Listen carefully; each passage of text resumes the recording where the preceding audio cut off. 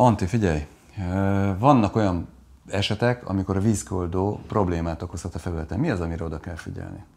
Igen. Nagyon fontos az, hogy mészkör és márvány ne használjuk, de ugye ezt már mindenki tudja. Viszont... Legalábbis aki a takarítás alapjai videósorozatot megnézte.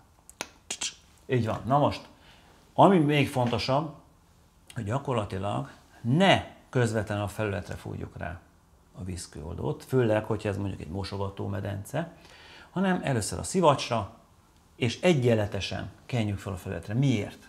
Mert ugyanaz fog történni, mint az akrilkád és a klóros tisztószer esetén, hogy egy folyó rányomjuk, az lecsorog, és utána nem tudjuk ugyanolyan töménységbe ott is csorgatni, ahol nem csorgott le, és gyakorlatilag csíkos lesz. Ami nem azt jelenti, hogy megmarta, hanem azt jelenti, hogy szakaszokba szedte le a zsírt.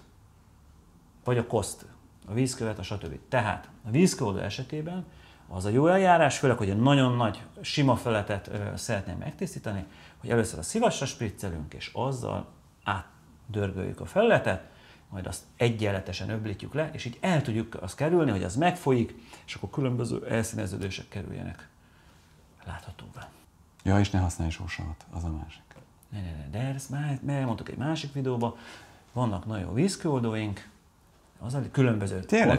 Feliratkoztál már? Hoppá. Mi nem szoktuk mondani, mert nem vagyunk ilyen youtuberek. Nem vagyunk? Nem. Na, iratkozz fel.